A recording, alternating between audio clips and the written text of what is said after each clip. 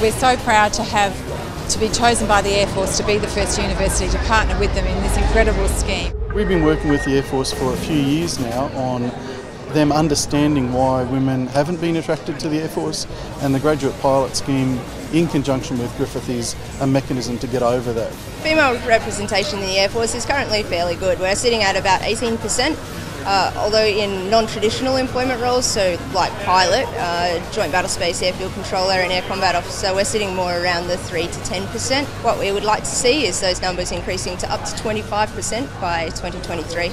I think it's really good for females trying to be recruited into the Defence Force as um, the levels can be kind of weighted out a little bit and get more females encouraged in. Griffith is the first partner that the Air Force has got in this program. Uh, I think it reflects our professionalism and our commitment to women in aviation and the way that we work very closely with the Defence Force. I'd like to, uh, to tap into those students who've already uh, expressed an interest in an aviation career. The Air Force Simulator Experience is this amazing F-18 simulator. It's got uh, two cockpits and it's got a Joint Battle Space Airfield Controller console and an uh, Air Combat Officer console.